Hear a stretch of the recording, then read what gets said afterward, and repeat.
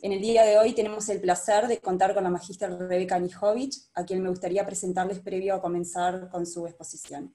Y que voy a leer porque no quiero omitir absolutamente nada. Eh, Rebeca Nijovic es especialista y magíster en formación de formadores e investigadora de la Universidad de Buenos Aires. Se desempeña como docente de posgrado de la Escuela de Educación y directora del Profesorado Universitario de la Universidad de San Andrés, es asesora pedagógica institucional de escuelas de Colombia, Uruguay, Brasil y México. Es autora de numerosos libros, varios de ellos vinculados a la formación docente, tales como Transitar la formación pedagógica en 2009, las prácticas como eje de la formación docente del 2014 y la evaluación como oportunidad del 2017. Adelante, Rebeca, muchas gracias. Buenas tardes a todos, a todas. Eh, gracias por la invitación y me da mucho placer. voy muy seguido a visitar el país de ustedes y encontrarme con muchos docentes, así que me da gusto volver a verlos, aunque sea a través de estos cuadraditos en los que estamos ahora eh, interactuando. Voy a compartir eh, una pantalla. Ok, ¿ustedes la ven bien allí? Sí. Sí. Perfecto. Buenísimo. Bueno, eh, algunas reflexiones a partir, digamos, de lo que hemos vivido en estos meses acerca de, eh, del ser docente hoy y algunas claves para repensar la, enseñanza. Para arrancar, digamos, para, empezar a hablar de esto, quería primero eh, dirigirme a algunas cuestiones vinculadas al aprendizaje, porque hay algunas eh, pistas en relación al aprendizaje y a los estudiantes aprendiendo que me parece que vale la pena ver a mirar para poder pensar algunas cuestiones vinculadas a la enseñanza.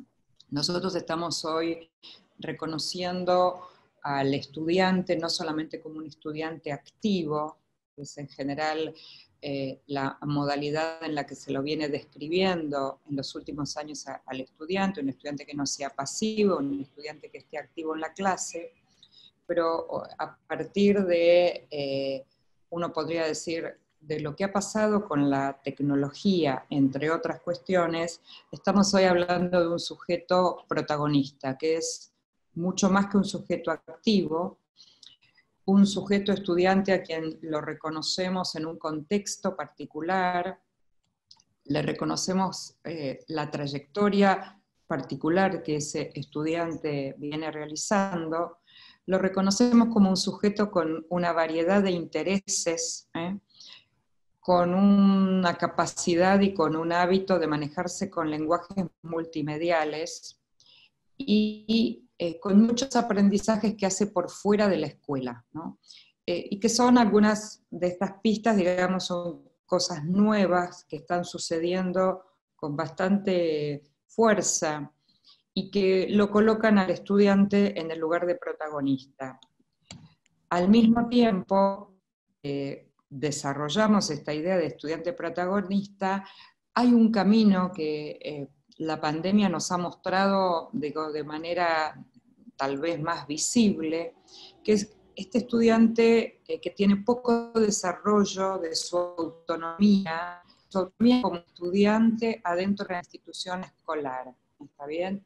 O sea, esta, esta, esta capacidad de aprender a aprender, de desarrollo autónomo en términos de un estudiante que sepa y tenga posibilidad de tomar decisiones acerca de cómo planificar, organizar su aprendizaje, seleccionar recursos, gestionar sus tiempos, tener conciencia de sus fortalezas y debilidades. Es un propósito que aparece muy difundido en los diseños curriculares en Latinoamérica, en muchas aulas y en muchas instituciones, pero poco hemos visto eh, que se ha instalado esta capacidad autónoma justamente en estos momentos donde eh, no ustedes que ya están volviendo a clases, pero si miramos un poquito para atrás, hemos tenido que apelar al contacto con las familias, hemos tenido que apelar, digamos, a situaciones intermedias entre el sujeto aprendiendo y nosotros enseñando, eh, porque hay capacidades no suficientemente desarrolladas vinculadas con la autonomía.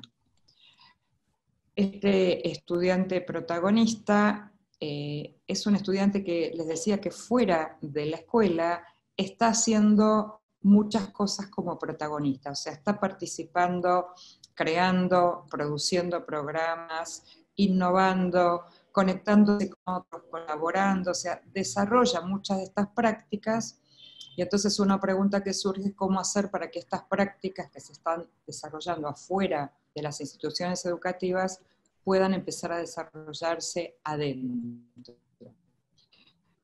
Em, y pensar también, digo, todas estas cuestiones que estoy planteando del aprendizaje las traigo porque van a ser pistas que nos van a servir para pensar el tema del rol docente y la enseñanza.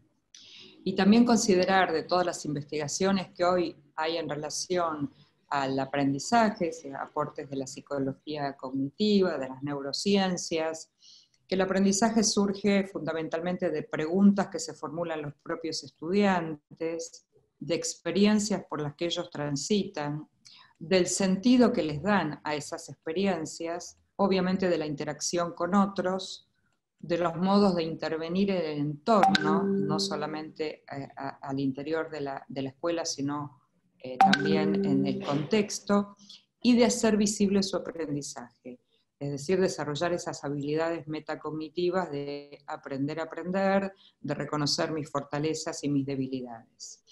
Y en ese sentido, eh, recuperar también algunos aportes interesantes de algunos autores que vienen trabajando hace mucho tiempo con esta preocupación por el aprendizaje, y en particular quería compartir los aportes de Ellen Langer en su precioso libro sobre aprendizaje consciente, donde ella plantea cinco características de este aprendizaje consciente, lo que ella llama la apertura a la novedad, o sea, esa disposición que tiene un estudiante a, a lo nuevo, a los nuevos aprendizajes, el estado de alerta ante las diferencias, ¿no? y esto tiene que ver con eh, el concepto del trabajo con la diversidad, la sensibilidad a los diferentes contextos, y hoy hemos visto, hoy digo hoy en día, a, partir de la pandemia, cómo, eh, cómo, responde cada estudiante frente a esta eh, situación nueva, a este contexto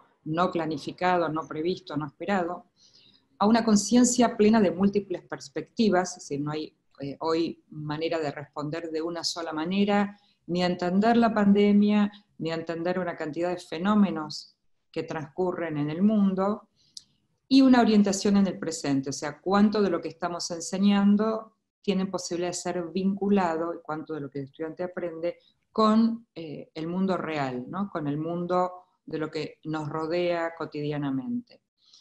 Entonces estas pistas nos abren a pensar algunas cuestiones de la enseñanza y no porque sea, ya sabemos que no es que eh, hay una reciprocidad o un espejo mostrando que si de este lado se aprende así, casi mecánicamente se enseña eh, exactamente igual. Pero sí son pistas para entender que este estudiante que tenemos hoy es bien distinto del estudiante de hace poquitos años, del estudiante que muchos de que se han formado en los últimos años han estudiado, de cómo es ese estudiante. Entonces, em, entrando un poquito en la enseñanza, y quiero plantear algunas cuestiones que nos sirvan para pensar eh, cómo encarar la enseñanza eh, próximamente, digo, en este futuro eh, inmediato, de cómo volvemos a las instituciones, cómo volvemos a, enseñar y cómo volvemos a aprender, con una primera idea de eh, cómo son o cómo deberíamos pensar los procesos de planificación, eh, entendiendo que eh, tenemos que apostar a, diseños diferentes de los modos de planificar nuestras clases, de cómo configurar y armar las tramas de clases. Yo voy a trabajar con algunos ejemplos que, quiero proponerles eh, justamente para abrir modos de pensar diferente las clases. En particular, voy a tomar de, este, de, este, proceso de enseñanza lo que es el inicio de una clase, recuperando la centralidad que tiene algo que parece, digo, sencillo, que es, bueno, uno empieza la clase diciendo algo acerca de lo que va a suceder y eh, recuperar algún sentido más profundo del valor que tiene pensar de una determinada manera o de diferentes maneras el inicio de la clase. Y me paro primero en un, aporte bien interesante de Brunner, que eh, él plantea que es, es, necesario enseñar mejor para que se aprenda mejor y que las mejores situaciones de enseñanza tienen que considerar y tienen que favorecer, digamos, la predisposición de los estudiantes a explorar alternativas. Entonces, fíjense que esto casi nos mueve, una idea de Brunner de hace muchos años, ¿no? Nos mueve de pensar la clase como un momento de transmisión frontal de conocimientos, ¿no? Porque él ya está planteando predisposición de los estudiantes a explorar alternativas. Quiere decir que hay algo en nuestra propuesta en nuestro inicio de clase, de proyecto, de unidad, de pensar cómo favorecemos esta exploración de alternativas. Este inicio de clase con el objetivo, el propósito de desafiar y provocar, porque es como la primera aproximación al objeto de conocimiento, porque es un momento privilegiado para considerar los saberes previos de los estudiantes, provocarlos, y también al mismo tiempo traer el sentido común, ¿no? lo que dice la gente, las creencias, e incorporarlas a este primer, eh, primer movimiento de aproximación al objeto de conocimiento, con desafíos que interpelen, que causen asombro, duda, curiosidad, sorpresa, ¿no? cierto grado de incomodidad. Fíjense, todo esto pensado simplemente en algo que uno podría decir son unos minutos iniciales de un inicio de una clase o de un proyecto o de una, de una unidad. Y junto con eso algunas preguntas que nos hacemos para poder pensar este momento de inicio. ¿Qué enseñamos? Eh, con la pandemia aparecieron eh, con más fuerza las preguntas de qué tiene sentido enseñar en estos momentos, en estos contextos, qué recorte de contenidos, ¿Podemos seguir con el plan que teníamos originalmente eh, de clases presenciales? Evidentemente no, no solamente por una cuestión eh, híbrida entre algo presencial y algo virtual, sino porque el mundo cambió abruptamente.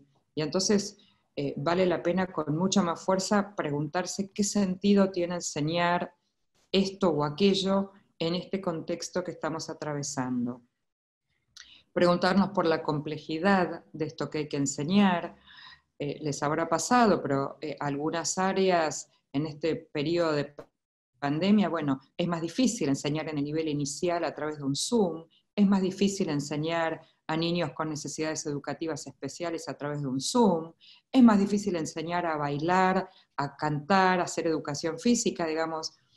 Eh, la complejidad constitutiva de cada saber también se puso en jaque a partir de tener que eh, mm, enseñarlo, digamos, eh, en otro contexto, con otras modalidades, con otros dispositivos. Bueno, ¿qué es lo, sustantivo? ¿Qué perspectivas aparecen hoy en conflicto? ¿no? Una discusión que por lo menos aquí en nuestro país tenemos en, el campo de la educación es cómo enseñarles a los estudiantes a discernir entre estas noticias que no son válidas científicamente y las que son, ¿no? entonces, bueno, eh, ¿cuáles son esas perspectivas en conflicto hoy?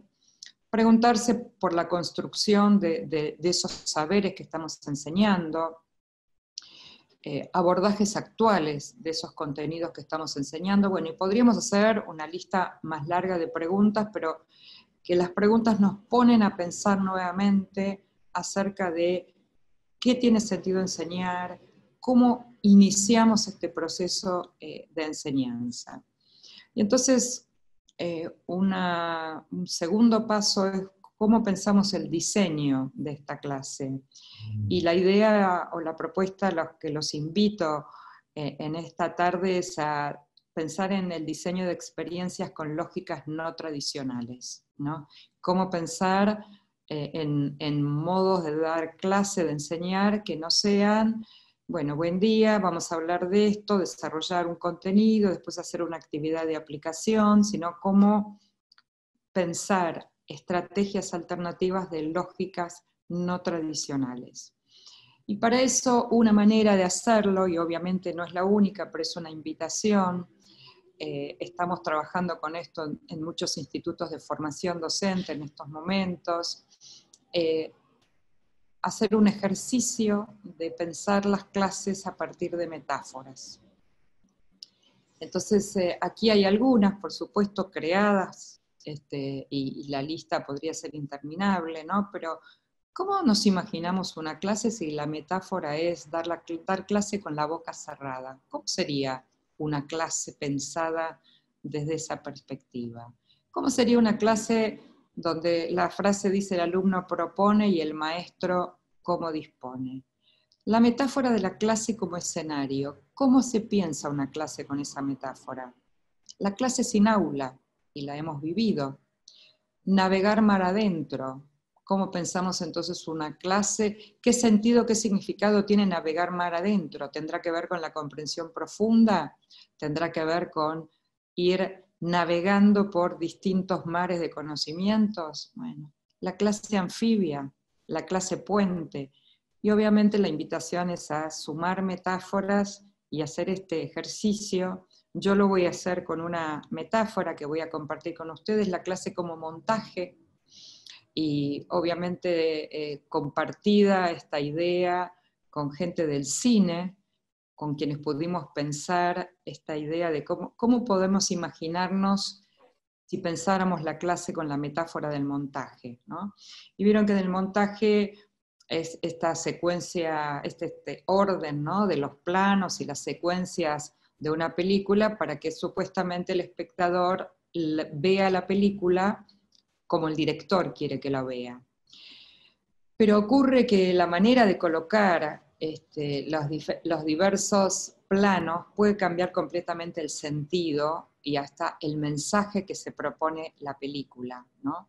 Y algunos sostienen que es en el montaje en que se construye esta película se cambian secuencias, se suprime lo que no gusta, se añade, se acorta el ritmo. Y eso no es una acción técnica, ¿está bien? No es cortar aquí y poner aquí eh, como si fuera una acción eminentemente técnica, sino es cómo construimos un sentido cuando decidimos cortar una parte, es decir, no mostrar algo, cuando decidimos hacer visible alguna otra cosa, cuando decidimos una secuencia diferente, por ejemplo, empezar a contar desde el presente e ir para atrás en la historia, o al revés, empezar de la historia y después llegar al presente.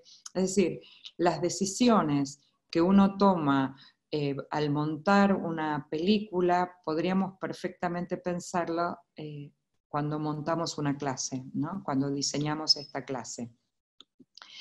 Eh, bueno, cuando la clase como montaje, por ejemplo, es para los estudiantes un cuento cinematográfico, donde miran una versión, pero esa versión es interpretada de muchísimas maneras por cada uno de los estudiantes que tenemos en la clase, con lo cual eh, no hay un cuento cinematográfico, sino hay múltiples cuentos, ¿no? Cuando el montaje es invisible, ¿no?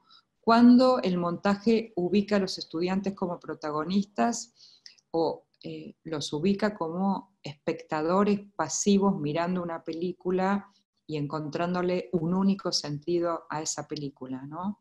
Y cuando el montaje, ¿no? uno podría decir, es más artificial, pone y saca sin favorecer narraciones potentes que pueden interpelar a nuestros estudiantes.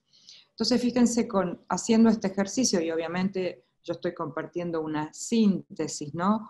De cómo uno puede utilizar una metáfora y a partir de ahí pensar la clase eh, con esa metáfora. Y entonces diseñar escenarios alternativos. Si diseñara una clase como montaje, ¿cómo sería esa clase?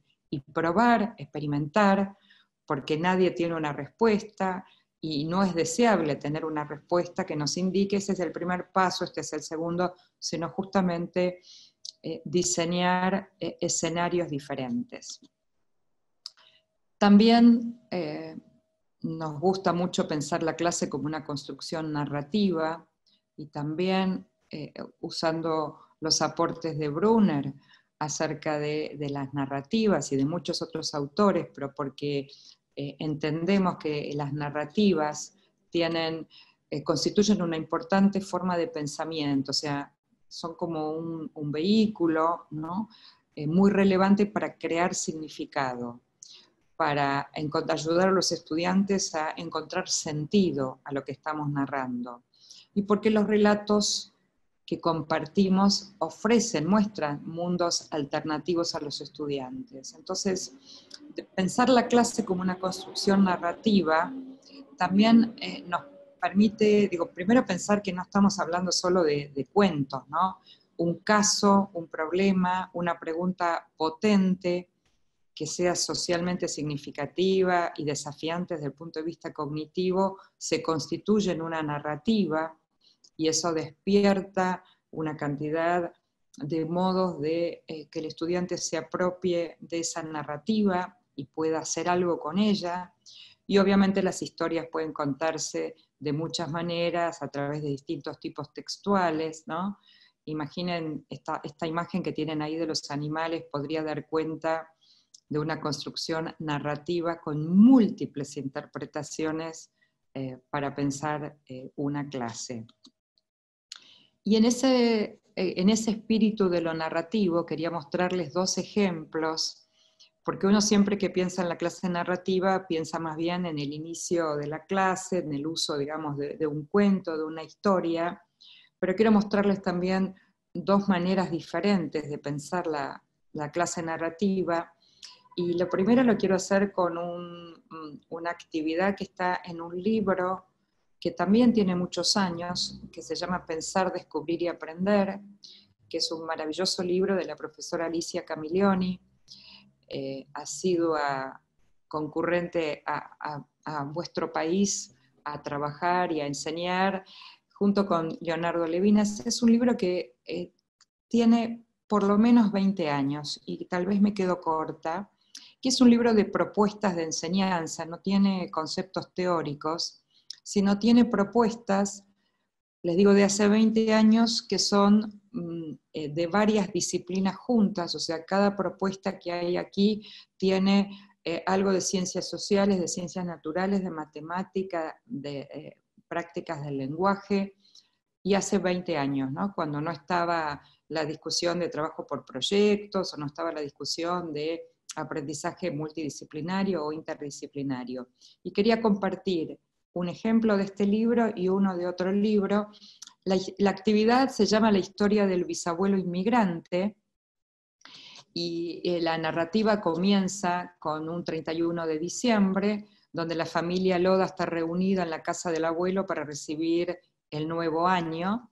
Y mientras esperan el brindis, los nietos rodean al abuelo y les piden que le cuente la historia de la familia y le preguntan, empiezan a preguntar dónde nació el, el, padre, o sea, el bisabuelo, bueno, qué es un inmigrante, quién fue inmigrante, etc. Y entonces esto es el, origen, el inicio de la clase, eh, que tiene una segunda parte que es un juego donde hay 100 tarjetas y cada tarjeta tiene una información, una parte de información para reconstruir la historia del abuelo inmigrante, trabajando como historiadores.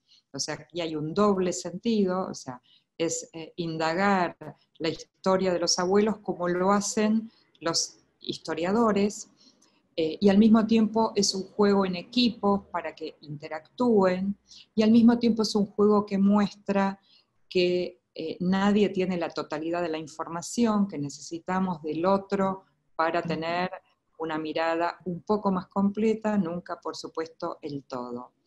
Y entonces, este es un ejemplo de cómo a través de la narrativa pensar y diseñar una clase.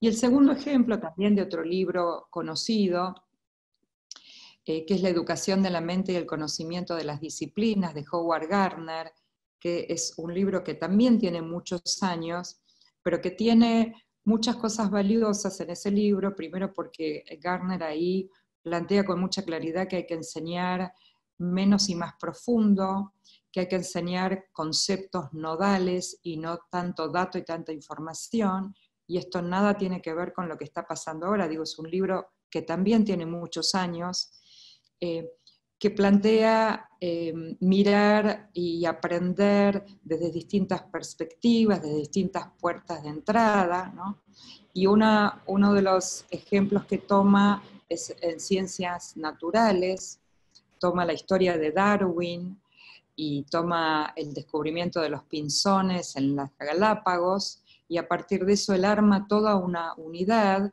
donde también plantea, fíjense, un pedacito ¿no? de la actividad que aquí él propone, eh, mirarla, mirarlo desde la perspectiva de un biólogo y entonces preguntarse, por ejemplo, por qué son tan distintos entre sí los pinzones de islas vecinas, mirado como un artista que está observando a los pinzones y quiere plasmar su experiencia de esa observación, ya sea a través de la música, del baile, del dibujo, o también mirarlos como historiador y entender el contexto de Darwin y tratar de establecer por qué Darwin estableció los hechos y definió eh, de la manera en que lo definió. Son dos eh, ejemplos de narrativas desde una perspectiva, digamos, no tradicional. Con todo este recorrido, digo, eh, sintético, porque tampoco el Zoom es para hacer una clase expositiva larga, pero entonces compartir algunas pistas que tomando de este recorrido podríamos pensar en la formación docente.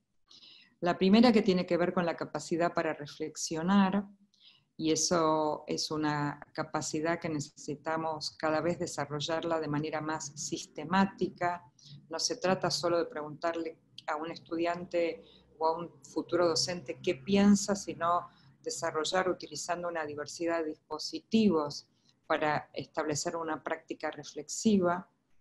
Necesitamos formar a los futuros docentes para trabajar en contextos de incertidumbre y eso debería ser una capacidad para desarrollar, para fortalecer, para enseñar y para practicar, porque lo que nos sucedió hoy con la pandemia eh, nos va a volver a suceder, no necesariamente por otra pandemia, pero vamos, estamos viviendo en un contexto de muchísima incertidumbre y ese es el modo en que tenemos que aprender a trabajar, a enseñar. Nuestra capacidad de flexibilidad, que uno podría, mirando 90 días para atrás, podría decir, qué capacidad de flexibilidad han tenido los docentes para adaptarse de un día para otro a enseñar en este nuevo contexto. Y pensamos que es verdad eso, por eso pensamos que tenemos que dar un paso más en enseñar con mucha más profundidad eh, la capacidad de flexibilidad, definirla primero, qué significa ser flexible, cuándo podemos decir que alguien eh, es un, un docente, un maestro flexible y cómo se evidencia esa flexibilidad. Tenemos que, con mucha más fuerza, porque no es algo nuevo, trabajar colaborativamente. Miren, en este periodo de pandemia hemos podido eh, reconocernos quiénes de nosotros eh, tienen más experiencia y posibilidad para trabajar con las tecnologías, quiénes son más buenos para diseñar prácticas narrativas. Y entonces uno podría pensar eh, los distintos modos de colaboración adentro de una institución, pensar modos alternativos inclusive de eh, cómo volver a este mix, a esta escuela híbrida, donde lo que uno conoce hasta ahora es que la maestra de tercero A va a volver a tercero A en su formato presencial y en su formato virtual. Pero tal vez uno puede pensar otras maneras de armar estas combinaciones y a lo mejor la maestra de tercero que es buena presencialmente va a ser maestra de tercero A y B en lo presencial y va a haber una maestra de tercero A y B en lo virtual. No estoy diciendo que tiene que ser así, lo que estoy diciendo es que eh, nos va este, esta nueva situación nos va a obligar a pensar modos diferentes también de colaboración entre pares, a diseñar escenarios alternativos, pensar, por ejemplo, qué vale la pena enseñar cuando estén presencialmente y qué vale la pena que hagan cuando están de manera sincrónica en sus casas. Y no es cuestión de dividir una unidad y decir la mitad, la primera mitad la hacemos presencial y la segunda mitad virtual, sino cómo articulamos lo que sucede en las cuatro horas presenciales y lo que va a suceder en el virtual de una manera articulada, de una manera donde uno vea el todo y no una división eh, simplemente marcada por la línea presencial o la línea virtual. Por supuesto, la posibilidad de documentar eh, seriamente estas propuestas pedagógicas para poder compartirlas, para poder aprender de otras capacidad que también tenemos poco desarrollado en general en la formación docente. Entonces, estas prácticas eh, reflexivas sistemáticas entendemos que van a dar pie a mayor autonomía profesional, o sea, a docentes con mayor grado de autonomía para tomar decisiones frente a este, este mundo tan incierto y frente a esta diversidad de propuestas y de modos de enseñar, tratando de hacer un ejercicio de reconstrucción de contextos a donde esa acción se produce, de reconstruir supuestos acerca de la enseñanza, y les doy un ejemplo de un supuesto sobre el cual Merie trabaja muchísimo y bien interesante. Merie dice, nosotros suponemos que los estudiantes tienen que estar motivados, suponemos que los estudiantes tienen que esforzarse como un requisito previo para la enseñanza. Y vimos ahora con mucha claridad en este periodo de pandemia que no son requisitos, que nosotros como docentes tenemos mucho que generar para que efectivamente suceda esa motivación, suceda ese deseo de aprender, ese deseo de conectarse, ese deseo de esforzarse. Y por supuesto, reconstruirnos día a día a nosotros mismos eh, como docentes.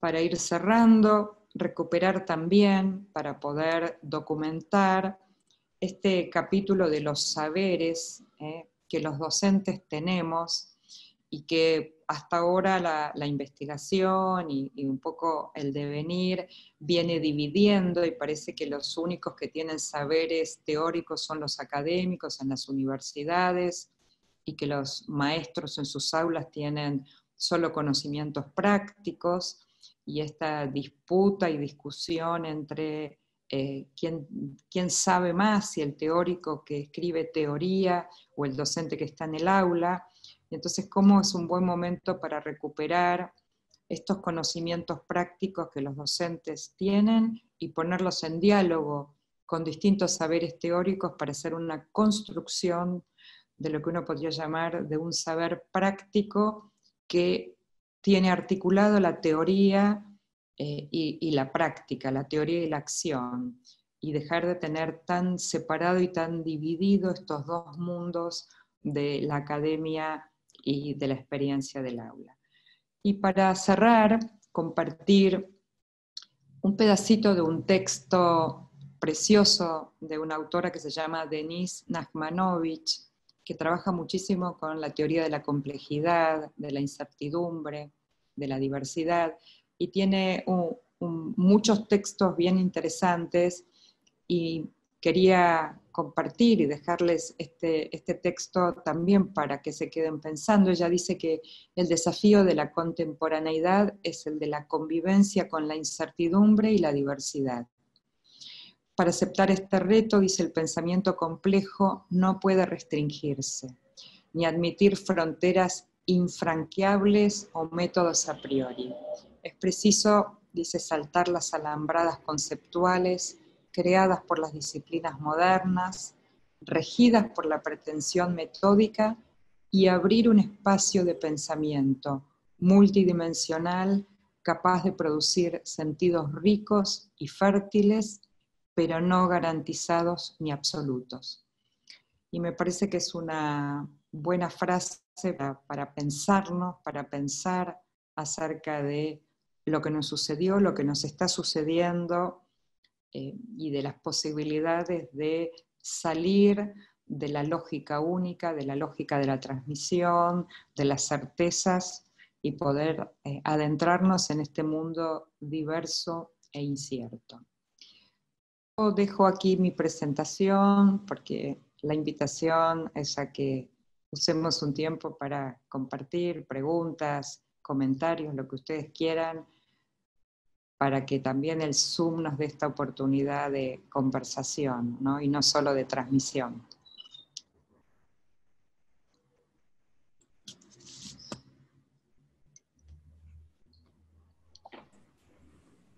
no sé si quieren, digo, alguien quiere coordinar las preguntas, quieren eh, hacerlo por chat, alguien quiere abrir el micrófono y hacer una pregunta, un comentario.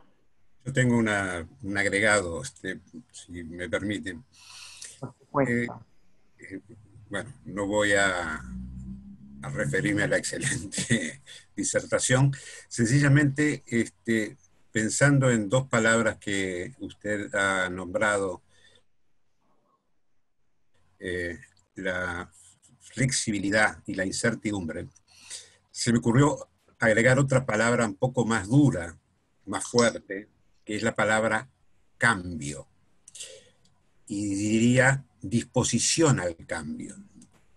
¿Por qué eh, quiero agregar esta palabra relacionada con esas otras dos?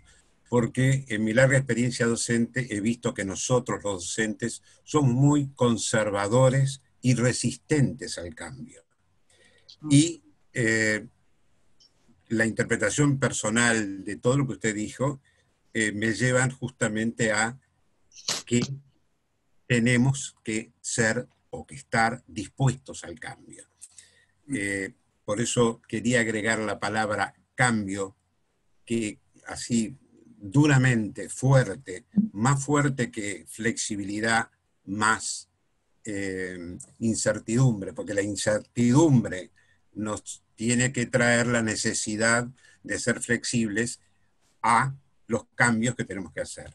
Era eso nomás. No, le, agradezco. Eh, la verdad es que usted sabe que estuve, eh, era una palabra que yo había puesto en la presentación y después la borré, porque eh, está tan usada, ¿no? O sea, en, la necesidad que tenemos de cambiar y el cambio y el cambio y el cambio, que en algún lugar casi pierde el sentido, ¿no? De, tanto uso, de mal uso, digamos, ¿no? Eh, mal uso en el sentido que se habla mucho del cambio, pero sucede poco en ese sentido. Entonces, mm, me pensé que yendo como un poco más despacio, porque si uno evidentemente eh, puede trabajar con la flexibilidad, puede trabajar con la incertidumbre, puede trabajar con eh, pensar alternativas, eh, seguramente va a ir caminando hacia el cambio, pero, pero la, tomo y, le agradezco porque obviamente es, el enfoque tiene que ver con el cambio. También decirle que no somos los únicos resistentes al cambio, no es que el consuelo de, muchos, ¿no? Eh, digo, eh, es parte de la naturaleza humana, la, digamos, la dificultad de manejarnos más en, nuestra zona de confort y obviamente eh, la pandemia nos vino a sacar rápidamente sin este, ni, tiempo de pensar, nos sacó de la zona de confort y también trajo mucho sufrimiento. Y no hablo simplemente, digo, no hablo solamente de la cuestión de la salud, digamos, sufrimiento, porque no todo el mundo se adapta con tanta rapidez, no todo el mundo eh, fue bien acompañado o es bien acompañado en los procesos de cambio, y eso también incide. Eh, las experiencias, las trayectorias personales de cada uno con procesos de cambio vividos en otras épocas de su vida, digamos, ¿no?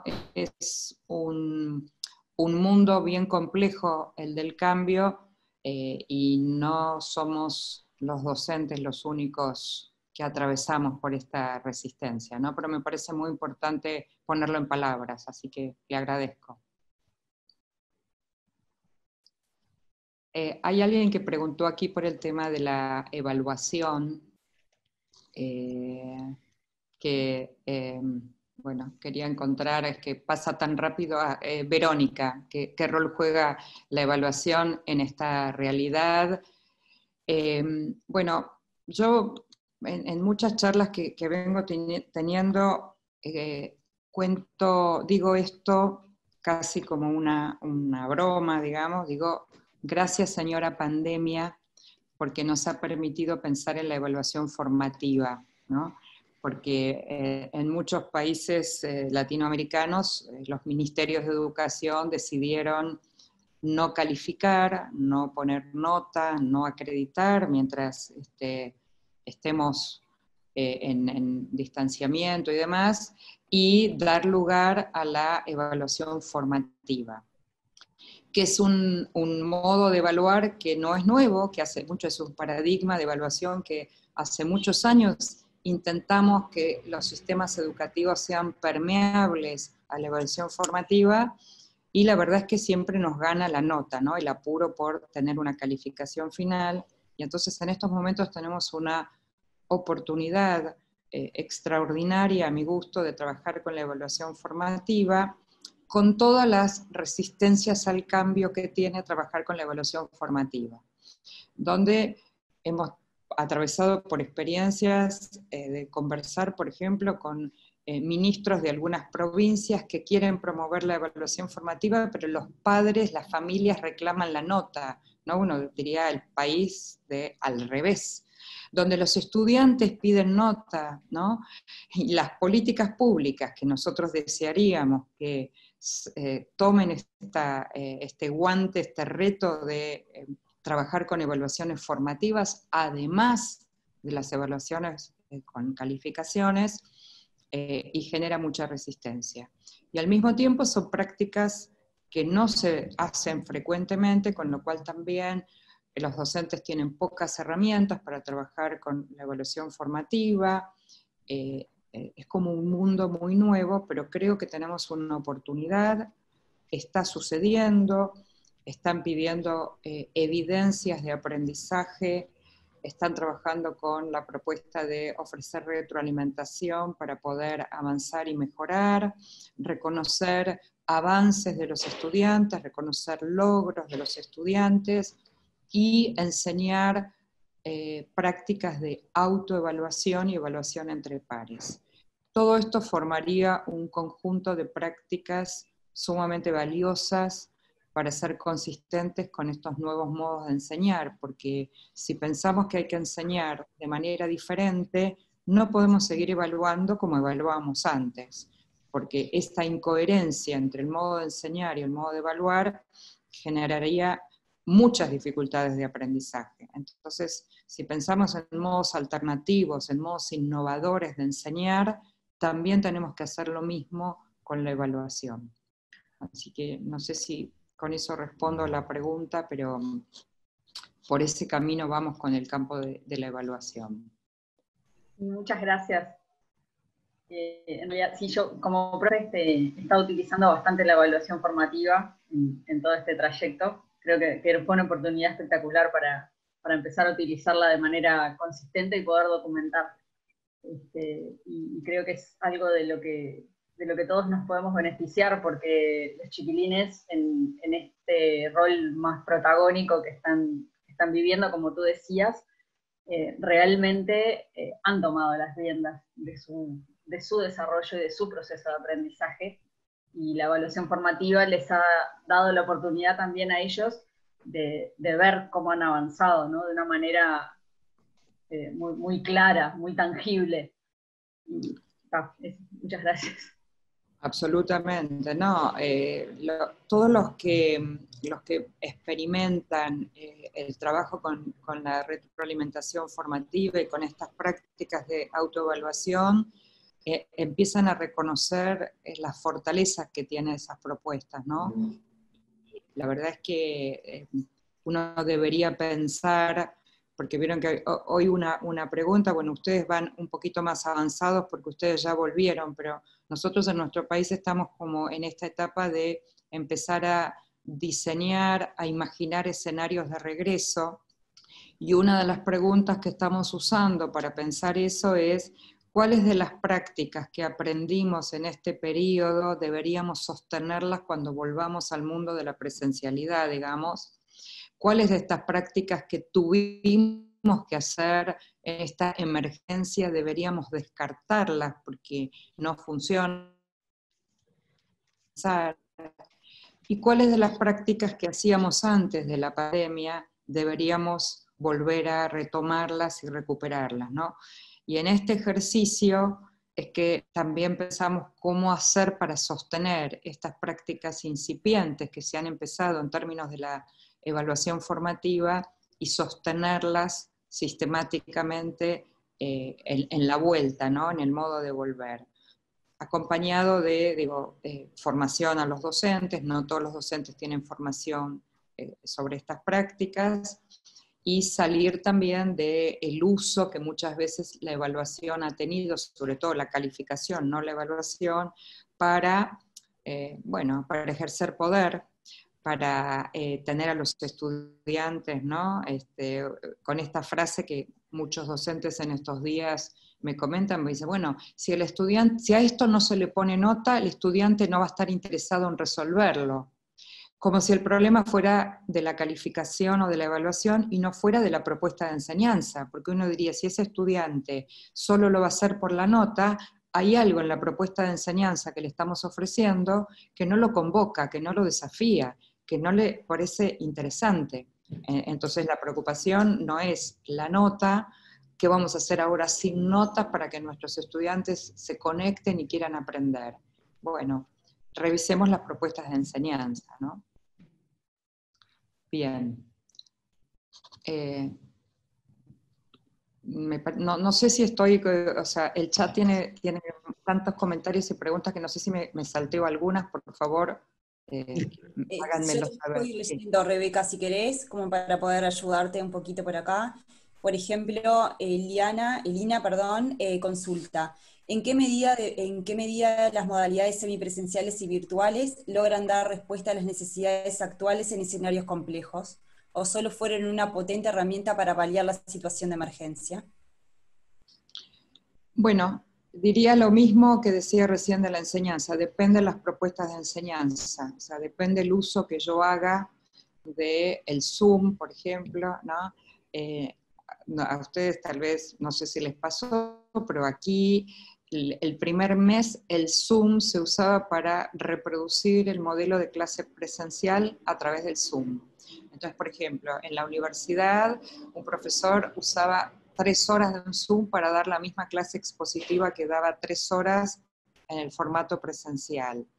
Los maestros de primaria y de secundaria llenaron de tareas porque la idea era tener una cantidad de horas a los niños haciendo tarea, eh, casi replicando la cantidad de horas que lo hacían en forma presencial. Entonces, eh, uno mira el uso de herramientas en ese periodo, diría, es un uso de herramientas que nada tiene que ver con propuestas de enseñanza, ni que aborden la incertidumbre, ni que aborden propuestas de enseñanza, diría, inteligentes, atractivas, interesantes, desafiantes. Entonces, como siempre pasa con la tecnología, depende el propósito, es el uso que yo voy a hacer.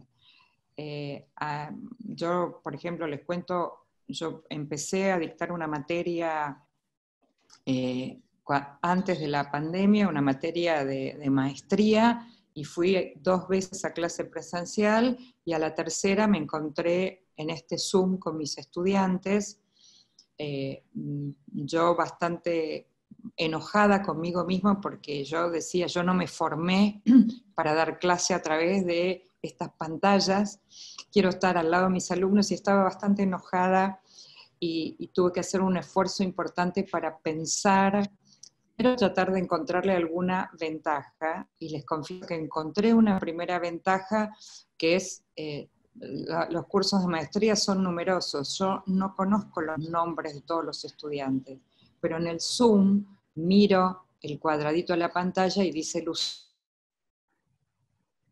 nombre, cosa que en el presencial no me pasa. Dije, bueno, encontré una ventaja, ¿no? Y la segunda cosa que me pasó es que eh, hicimos un, Zoom con, una colega con quien damos la materia juntas y eh, dijimos, les dijimos a los estudiantes, bueno, tal vez en dos o tres semanas, tal vez volvamos a hacer un Zoom, porque teníamos pensadas otras propuestas asincrónicas ¿no? que nos parecían más interesantes y más desafiantes. A lo cual los 70, 80 estudiantes respondieron en el chat, queremos Zoom, queremos Zoom, queremos Zoom, queremos Zoom, en una catarata de pedidos de Zoom.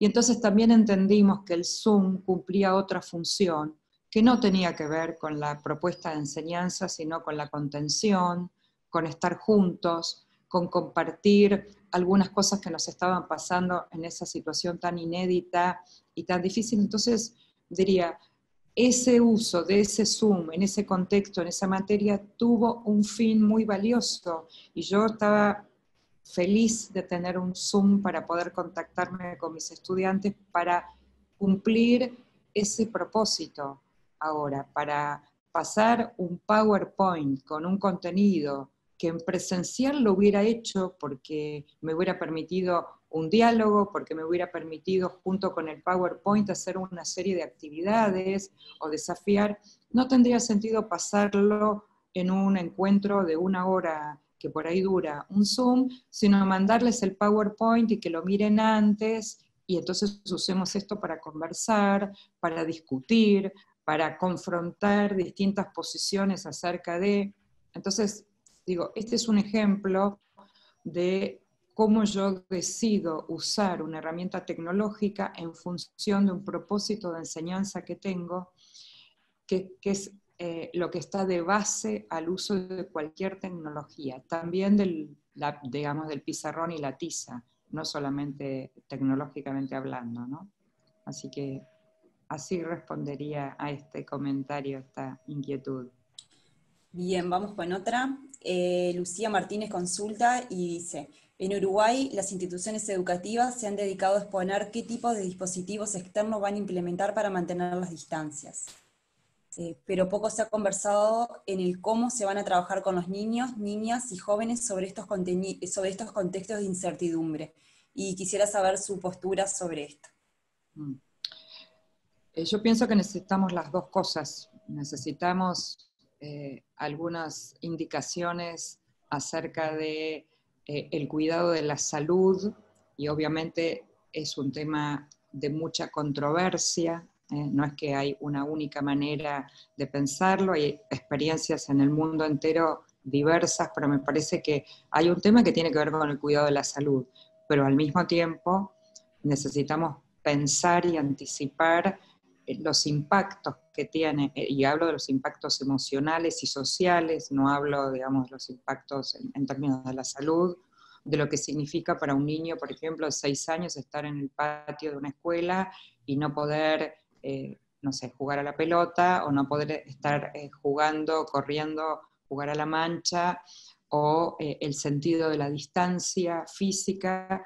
Digo, es un tema que hay que procesarlo emocionalmente es un tema sobre el cual hay que trabajar, eh, porque muchos de los impactos que vamos a ir teniendo, algunos ya están visibles, otros menos, pero tenemos hoy visibilizado, por lo menos digo aquí en nuestro país, muchísimos niños con depresión, muchísimos niños, niñas con regresión, muchísimos eh, estudiantes que no se quieren conectar con la pantalla, muchísimos estudiantes que no quieren hacer la tarea, muchísimos estudiantes, eh, niños, por ejemplo, que nosotros tenemos permitido salir sábado y domingo con los niños, no quieren salir, no quieren salir. Eh, ¿Se entiende? Entonces, hay un impacto eh, fuertísimo en términos psicológicos que hay que poder abordar, hay que tener orientaciones, hay que tener conversaciones en los equipos para poder pensar cómo abordar esta parte que no tiene que ver con la parte, digamos, de qué contenidos vamos a enseñar, o sea, con, las planificaciones de nuestras clases en el sentido de los saberes disciplinares, sino que tiene que ver con cómo volvemos después de esta experiencia tan difícil, tan compleja, tan inédita, eh, que tiene muchos impactos en cada uno de, eh, no solamente los niños, también los adultos estamos impactados, también los maestros están impactados. Y a cada uno de nosotros esta situación nos tocó de manera diferente, nos hizo reaccionar de manera diferente, con lo cual también necesitamos conversaciones de este tipo entre nosotros, entre los adultos docentes en los equipos institucionales, ¿no? Eh, así que creo que hay que abordarlo, no solamente trabajar las eh, orientaciones o directivas en relación a los espacios, a los metros, a todo eso, que por supuesto es muy importante, sino a toda esta otra parte, ¿no?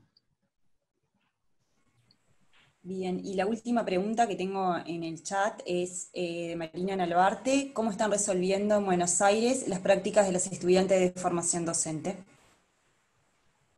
Bueno, estamos haciendo mm, eh, tres o cuatro cosas, por lo menos yo dirijo un profesorado universitario tengo un grupo de estudiantes que se tenía que recibir en estos momentos y obviamente no lo puede hacer. Estamos haciendo así. Por un lado, hicimos una, una, nueva vuelta de observaciones de clases virtuales. O sea, estos estudiantes habían hecho observaciones de clases presenciales y no, habían, digo, no, no, no tenía sentido eh, hacer, no, se preveía esto, con lo cual hicimos un primer ejercicio de observar muchas clases virtuales y hacer un trabajo después de análisis de estas clases, digamos, sincrónicas, de análisis de las propuestas de foros, o sea, pedimos permiso para, en lugar de ingresar a las aulas presenciales, ingresar a este tipo de aulas. La segunda cosa que hicimos es hicimos prácticas simuladas eh, de clases virtuales, cosa que nosotros habíamos hecho prácticas simuladas de clases presenciales, pero no virtuales, así que hicimos estas prácticas. Eh, y lo tercero, que es lo que estamos haciendo ahora, es eh, estamos eh, gestionando para que nuestros estudiantes den clases virtuales.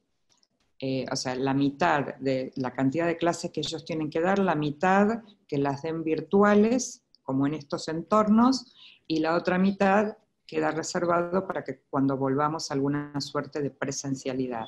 ¿Por qué? Porque entendemos que estos estudiantes que están egresando hoy van a trabajar una parte virtual y una parte presencial, ¿se entiende? O sea, no, no vamos a volver, por lo menos por un tiempo largo, a un modelo eh, absolutamente presencial. Entonces, eh, eh, estamos haciendo en estos momentos, planificando clases que ellos van a dar y que van a ser observados por nosotros en sus clases, eh, pero en entornos virtuales.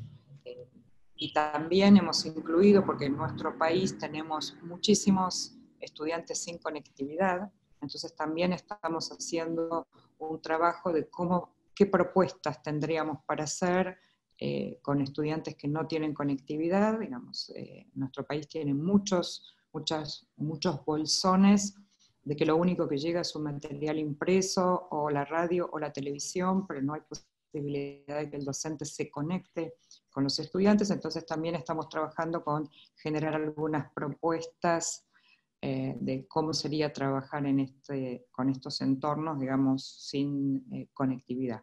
Todo eso estamos haciendo eh, en estos momentos porque no tenemos posibilidad de hacer las prácticas presenciales, ¿no? Luciana. Sí. Perdón, sí, para cerrar, porque este, no solo agradecerte si eh, hemos compartido un rato de aprendizaje y de intercambio de, ideas. Mm, estamos en, en, un momento histórico todos los momentos son históricos, y más una institución como la nuestra con 152 años y con un instituto de formación docente que justamente tiene la responsabilidad de formar docentes para el cambio. Ese, ese, este momento nos tiene que llevar a poder evolucionar hacia otras formas y que no, no nos suceda como ha sucedido en tantos momentos históricos que dijimos, vamos a, ahora es un momento de cambio y pasó lo del gato pardo, ¿no? Este, volvimos, todo se cambió para seguir en el mismo lugar. tenemos que capitalizar todas estas experiencias, pero también hay que educar a los padres, a la familia, porque cuando hablamos de evaluación, eh, venimos educados de una evaluación que nos calificaba por número y hoy hay que darle a los padres también eso. Las instituciones educativas tienen que tienen ese compromiso con la familia, es un contrato de confianza en el que tenemos que también hacerle conocer cuáles son los métodos de trabajo por donde vamos transitando. De lo contrario, todo se estanca por la resistencia de uno, por, la demanda de los otros. Eh, comparto eh, comparto el, tema de la orientación a las familias. Eh, aquí fue, digamos, una de las, hay unos materiales que produjo UNICEF están eh, accesibles, si ustedes quieren entrar a la página de, UNICEF, produjo unos, unos, cuadernillos, unos materiales, uno de ellos dedicado exclusivamente al tema de acompañamiento y orientación a las familias, porque, por un lado, porque las familias están siendo en estos momentos las que están mediando entre los docentes y los estudiantes, porque los chicos están en casa, porque las familias no tienen por qué saber, eh, digamos, no son docentes, eh, no tienen por qué eh, entender los cambios, digo, no, tienen por qué saber de antemano, nosotros necesitamos comunicarles cómo estamos orientando la evaluación, cómo estamos orientando los procesos de enseñanza. Y, y, cómo mostrarles, cómo ir haciendo visible cómo sus hijos están avanzando qué es lo que están logrando, qué están aprendiendo. Nosotros usamos una pregunta aquí que les, eh, les propusimos a las escuelas que se las hicieran a las familias y recogimos información importantísima. Preguntarle a los padres qué, eh, qué cosas nuevas vieron en sus hijos en este periodo, ¿no? De cómo sus hijos aprenden. Dos preguntas en realidad les pedimos. Uno, que nos cuenten, que les cuenten a los maestros, a los directores de las escuelas, eh, ¿cómo, eh, qué, descubrieron? La pregunta era así, ¿qué descubrieron de algo que no sabían de sus hijos aprendiendo? Eh, y los padres mandaron un montón de respuestas, digo, interesantísimas. Está quien contó que no, no se, nunca se había dado cuenta que su hijo, por ejemplo, era muy ansioso y que no se aguantaba esperar ver la respuesta, ¿no? O sea, una cantidad de informaciones que a los maestros además les fue muy útil para entender cómo estaban aprendiendo. Y la otra pregunta que les hicimos, eh, en algunos casos directamente a los niños, ¿no? y con los más chiquitos a los padres, qué cosas aprendieron en este periodo eh, por su cuenta, o sea, que no se los hayan enseñado desde las propuestas de la, de la escolaridad. Y aparecieron cosas hermosísimas, donde después se les pidió a los chicos, por ejemplo, eh, un nene había aprendido, supónganse, a cocinar algo, entonces se le pidió que se filmara o que la mamá lo filmara, enseñándole a otros eso que él había aprendido a hacer una comida en su casa que nunca él había cocinado y de repente aprendió a cocinar y eso se convirtió en un video y eso se lo mandó a otros compañeros y otros compañeros le mandaron otros videos y entonces se cruzaron aprendizajes. Eh, y esas fueron, fueron propuestas trabajadas con las familias, ¿no? Además de informarles, bueno, cómo se está evaluando, cómo se está enseñando, por qué no tiene sentido ocho horas frente al Zoom, por qué, o sea, todo esto que también eh, los padres en el inicio de la pandemia reclamaban reproducir el modelo de clase presencial, y entonces si mi hijo va a la escuela de 8 a 4, quiero que ustedes lo tengan de 8 a 4, ¿no? Eh, sentado frente a una pantalla. Entonces, sobre todo esto hubo que eh, trabajar orientando, educando a las familias con muchísimo trabajo, diría doble para los docentes, porque es educar a los niños y también a las familias, ¿no? Así que sí, comparto, Enrique, el comentario totalmente. Bueno, y muchísimas gracias. No seguimos este, abusando de tu tiempo. Y esperamos vernos por acá o por allá. En algún momento podremos volver a darnos un abrazo. Muchas gracias. Ojalá. Al contrario, gracias a ustedes por la invitación, gracias por permitirme entrar un ratito allí en Uruguay y nada, felicitarlos porque ustedes ya están en un momento avanzando sobre la pandemia, sobre la vuelta a la escuela, y, lo hacen tan bien. Yo siempre hablo con mis amigos uruguayos, eh, envidio, envidio sanamente el modo en que, hacen las cosas de verdad. Eh, así que me da muchísimo placer estar en contacto con ustedes. Les mando un abrazo virtual por ahora y ojalá en el futuro sea presencial. Muchísimas gracias.